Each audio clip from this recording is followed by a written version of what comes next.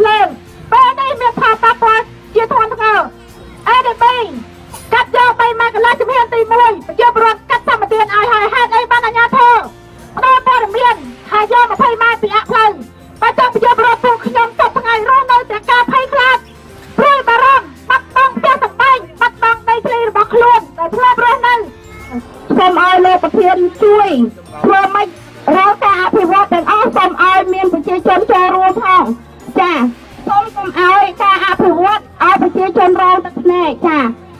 អ្វីក៏ដោយប្រជាជនគ្រាន់តែមានសិទ្ធិទទួលព័ត៌មាននិងសួរព័ត៌មានហេតុអីក៏ប្រជាជនយើងខុសដែរចាសូមឲ្យត្រឹមតែមានយុត្តិធម៌សម្រាប់ពួកយើងទាំងអស់គ្នាចាមួយចំណុចដែលត្រូវតែបងប្អូនអាចយកទៅដើម្បីសងសំណងបងប្អូនខ្ញុំនៅជាមួយបងប្អូនដើម្បីជម្រាបបងប្អូនទាំង6ចំណុចនេះចាខ្ញុំសូមទី1គឺគឺគេត្រូវសងសំណងមុននឹងវាអត់គ្រប់គ្រាន់ទីព្រោះគេមកពេលមកវាតម្លៃឧទាហរណ៍គេថាផ្ទះនេះ គឺជាប្រភេទ A តម្លៃប៉ុណ្នេះប៉ុន្តែទេវាត្រូវជាប្រភេទ B B គឺតម្លៃខ្ពស់ជាងនឹងទៅទៀតអញ្ចឹងគេត្រូវវាតម្លៃសាឡើងវិញឲ្យទៅត្រឹមត្រូវចំណុចទី1បងប្អូនចំណុចទី2នៅគេត្រូវតែឲ្យមានហេដ្ឋារចនាសម្ព័ន្ធដូចជាសាលារៀនដូចជាផ្លូវដូចជាអីហ្នឹងនៅក្នុងសហគមន៍របស់បងប្អូនណាបងប្អូនណាបើសិនជាបងប្អូនមានបញ្ហាអ្វី មានគណៈកម្មការចាមានប្រព័ន្ធការងារដើម្បីបងប្អូនទៅ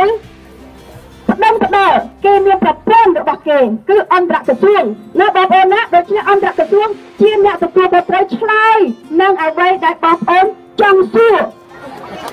អ្នកដែលមានចំពាក់លុយដោយសាររឿងអភិវឌ្ឍនៃរដ្ឋលើនេះគេនឹងមើលតាមករណីនីមួយនីមួយ ហើយគេមានលុយដើម្បីជួយរំលាស់ការខ្ចីបំណុលរបស់បងប្អូនចា៎ហើយចំណុចចុងក្រោយគឺគេត្រូវតែ